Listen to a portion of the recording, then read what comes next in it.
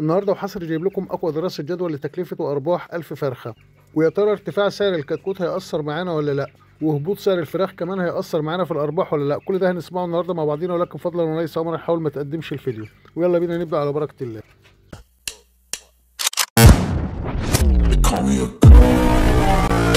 السلام عليكم ورحمة الله وبركاته. أخباركم إيه؟ يا رب أشوفكم في أحسن صحة وحال. وزي ما تعودنا دايما نبدأ بذكر الله وبالصلاة على النبي. اللهم صل وسلم وزد وبارك على سيدنا محمد وعلى آله وصحبه وسلم أجمعين. ومعلش أعذروني إن أخرت عليكم في الفيديو ده طبعا لأن كان موضوع الفراخ مش منتظم. الأسعار مرة عالية ومرة نازلة زائد سعر الكتكوت كان بيرتفع بشكل جنوني.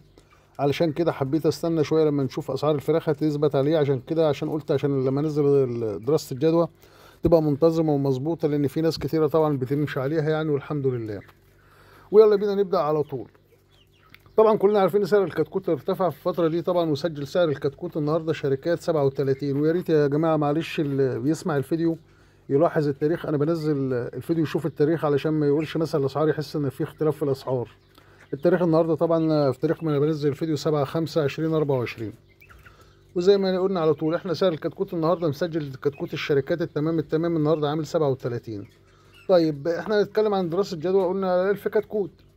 37 يعني أنا لو جبت 1000 كتكوت هيكلفوني 37000 جنيه. دي بالنسبة لسعر الكتكوت يعني أدي كده 37000 سعر الكتكوت سعر 1000 كتكوت. تمام. هيستهلكوا معايا علف قد إيه؟ يستهلكوا معايا 3 طن ونص. إحنا زي ما قلنا مع بعضينا إن الكتكوت علشان يديك الوزن المثالي بتاعه هياخد يستهلك معاك 3 كيلو ونص. 3500 كيلو بالظبط يعني 3 طن ونص.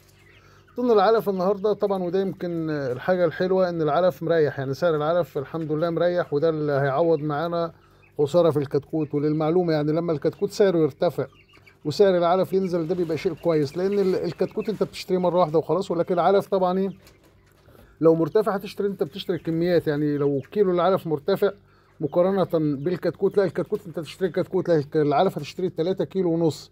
فلو مرتفع مثلا العلف مرتفع معانا وليكن في الطن 5000 أو 6000 أنت بتشتري 3 طن ونص لل1000 كتكوت فده هتفرق معاك. يعني مهما ارتفع الكتكوت مش يعني مش هيضاهي ارتفاع سعر العلف فخلاصة الكلام لما يرتفع الكتكوت يعني أهون شوية بكتير من ارتفاع سعر العلف.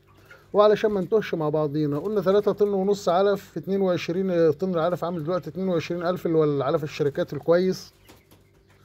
يعني لو قلنا دي 3 طن ونص هيدونا 77000 جنيه.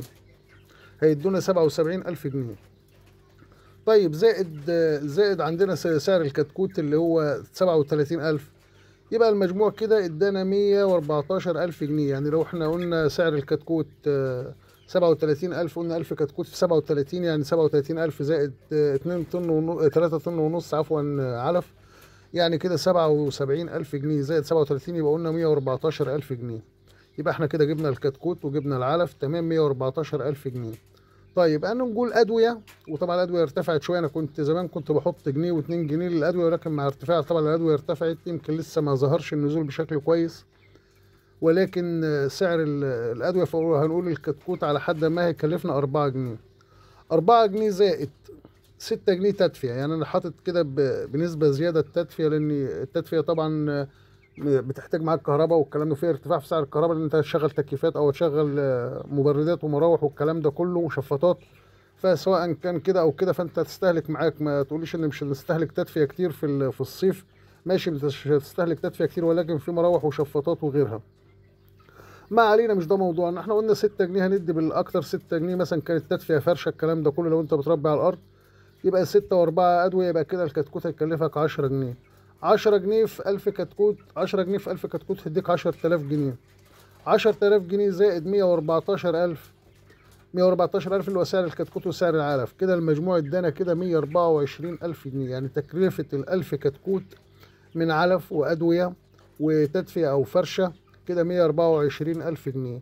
أما العمالة أو أنا مش هحسبهم على الألف طبعا دلوقتي بالنسبة للعمالة أو الإيجار أنا مش هحسبهم على الألف كتكوت دلوقتي ولكن هحط لك حسبتهم معايا في الآخر وكمل معايا الفيديو الآخر وأنت تفهم كل حاجة. طيب إحنا كده حسبنا لحد دلوقتي 124 ألف جنيه سعر الشامل اللي هو كتكوت وعلف وأدوية وتمام التمام وفرشة. ولكن ركزوا معايا إحنا كده ما حسبناش سعر العمالة ولا سعر الإيجار. طيب لأن ال1000 جنيه أنا حاطط لك مش حاطط لك دلوقتي الأسعار عشان انت لو هتربي الالف ممكن تربيهم عندك لو عندك مساحة بيت كبيرة أو الكلام ده كله ممكن تربيهم عندك. ولكن هحط لك السعر ده في آخر الفيديو إن شاء الله. طيب نيجي كده إحنا خلاص قلنا التكلفة تكلفنا المزرعة عبارة عن 1000 كتكوت كلفتنا 124 ألف جنيه. هنيجي بقى نقسم التالف اللي هو مكون من سردة أو نافق. طيب السردة والنافق هنقول 5% هي مش هتتعدى ال 5% لو أنت عندك خبرة. أو أنت شغال بضمير أو شغال كويس أو العامل اللي شغال أو حضرتك شغال كويس مش هتتعدى ال 5% ابدا طبعا. ولكن إحنا نحسب لها 5% 5% بمعدل 50 فرخة في الألف كتكوت يعني 50 فرخة في الألف فرخة أو الألف كتكوت اللي عند حضرتك. يعني الناتج هيبقى عندك كام فرخة؟ 950 فرخة بالتمام. طيب 950 فرخة. إحنا متعودين في دراسات الجدوى كلها اللي بنحسبها بنقول إن إحنا عشان الكتكوت يستهلك معانا 3 كيلو ونص علف هيدينا وزن من 2 كيلو لحد 2 كيلو 600 وبتختلف طبعا بين فرخة وفرخة. يعني في فرخة بتلاقيها 2 كيلو في فرخة 2 100 في فرخة 2 300 في فرخة 2 500 في فرخة 2 600 وهكذا يعني ما بيزيدش عن 600 وما بيقلش عن 2 إحنا طبعا خصمنا السردة. فهنقول متوسط ال 950 فرخة دول كام؟ المتوسط بتاعهم هنضرب الأوزان كلها مش هنقدر نوزن فرخة فرخة. فبالتالي هنضرب المتوسط بتاعهم. هنقول الفرخة 2 كيلو ومثلا وربع. يعني 2 كيلو 250 جرام بدي معدل أو متوسط الفراخ كلها. هنضرب ال 950 فرخة في 250 جرام. في اللي زيادة في اللي نقصان هتضاهي معانا كده هتلاقي النسبة تطلع معاك كده مظبوطة لما تضربها في 2 كيلو 250 جرام. طيب تمام. لو ضربنا 950 فرخة في 2 كيلو 250 جرام هنلاقي الناتج عندنا 2137 كيلو. يعني إحنا كده عندنا 2137 كيلو لحمة صافي. ده سعر الفراخ عند ده وزن الفراخ عندنا أو وزن اللحوم عندنا هنلاقي 2137 كيلو فراخ. طيب ده بفضل الله وبإذن الله إن شاء الله. طيب بورصة النهارده بالنسبة للفراخ البورصة عاملة إيه؟ الحقيقة البورصة زي ما قلت لحضراتكم نازلة طبعا. بورصة الفراخ النهارده 79 جنيه. يعني انت البورصة تنفيذ 79 جنيه. عشان تجيب تاجر يشتري منك الفراخ ده هتشتريها منك على 79 جنيه بإذن الله اللي هو سعر النهارده 5 7 طيب بالنسبة ل 79 جنيه إحنا لو ضربنا عندنا كده 200 و 200 آه، معلش 2137 كيلو في 79 جنيه. هتلاقي الناتج عندك 168823 بالظبط. بسم الله ما شاء الله. كده تمام. إحنا قلنا إحنا صرفنا كام بقى؟ قلنا صرفنا 124000 يعني إحنا صرفنا 124000 لو ضربنا يعني ال 168823 خصمناها منها ال 124000 أصبحت عندنا الأرباح بفضل الله 44823 كده الألف فرخة أرباحها 44823 طب كلام جميل وزي الفل. حد هيقول لي أنت ما حسبتش المزرعة اللي كنا اتكلمنا على عنها في الفيديو في الأول؟ ما حسبتش ال- المزرعة اللي هي إيجار مزرعة أو ما حسبتش عمالة.